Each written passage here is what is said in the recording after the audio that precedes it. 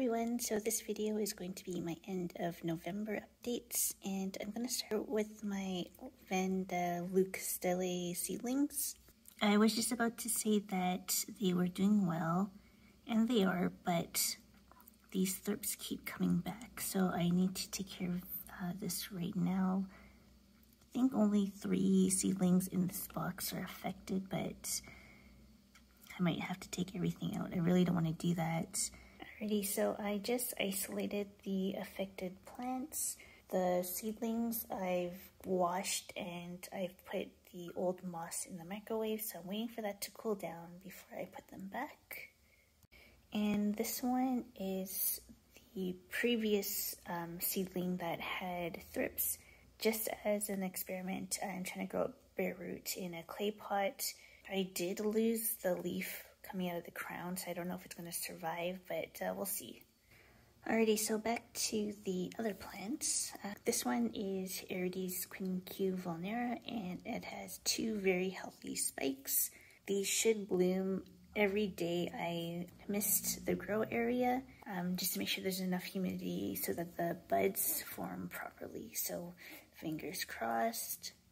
And this is Brassavola cucullata red form and I've taken the plant out of the pot and I'm using the pot now as a mount.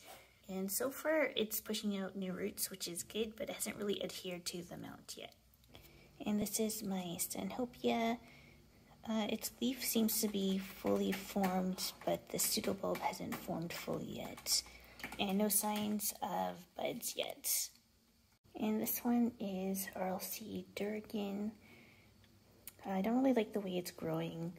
The reason why it's kind of growing this way is because I had it originally turned the other way because it's quite gloomy this time of year. It's been growing towards the artificial light, so that's why it's kind of sideways. I was hoping it would kind of turn itself up, but that hasn't happened. And this is my Dendrobium Sherry Abe, and it's pushing out a spike.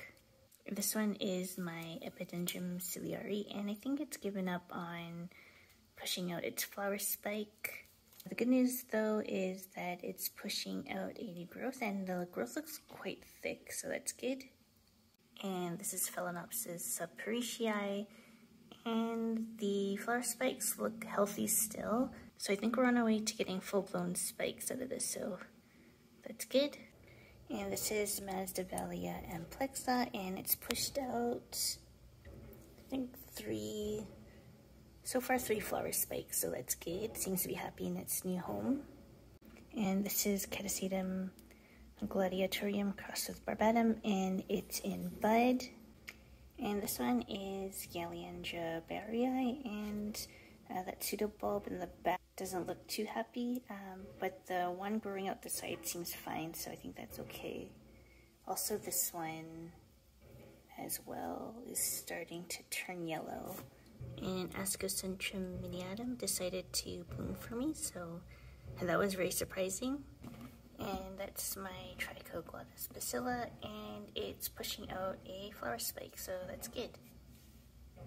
And these are my Paraphalaenopsis leigh seedlings. I gave one away to a member of our society because he was looking for one. Uh, this guy is pretty big. That's good. And the one on the cork log is doing pretty okay as well. And this is my Podangis dactyloceras, and it's pushing out this new fan, which is good.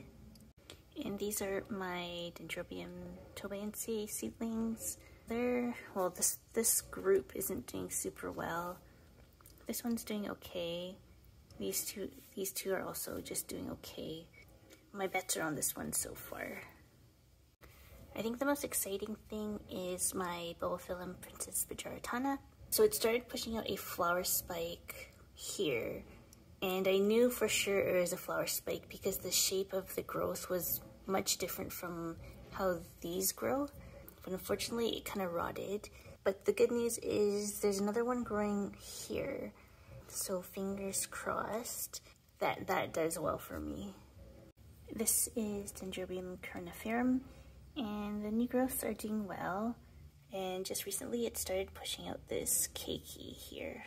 And this is my Dendrobium scabrilingue, and it's been kind of declining. I did have a thrips issue, which is resolved now, but you can see for each new growth, the growth has been a lot smaller. I'm trying to rest it this year, uh, as with my other dendrobiums around here, so I'm hoping that will help. And that one in the back there is Dendrobium igneoniveum, and I don't think it's established itself yet. Uh, this is Gongora portentosa, and this growth from underneath is leafing out.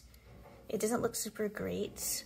I'm hoping this leaf will be okay, but the good news is there's actually a new growth here as well, so I'm hoping that one will do well. And this one is Bulbophyllum sanguineopunctatum. Uh, so I had believed that it didn't really push out any roots, so earlier this month I think I just pulled it out and it actually did push out some roots, but not very many.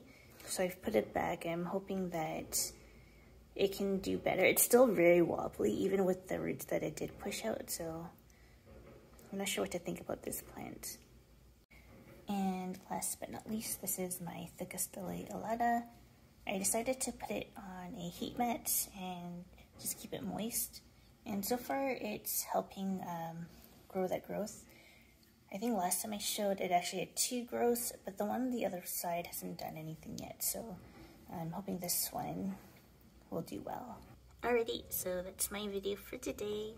Thank you for watching, and I'll see you next time. Bye.